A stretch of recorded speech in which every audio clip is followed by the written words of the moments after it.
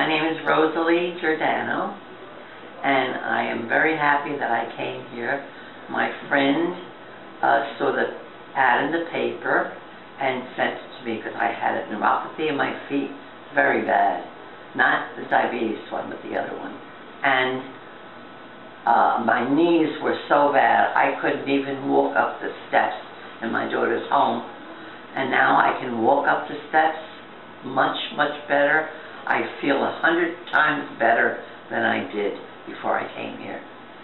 You have been wonderful. Everybody's great in here, and the place is run very, very professional. Thank you very much.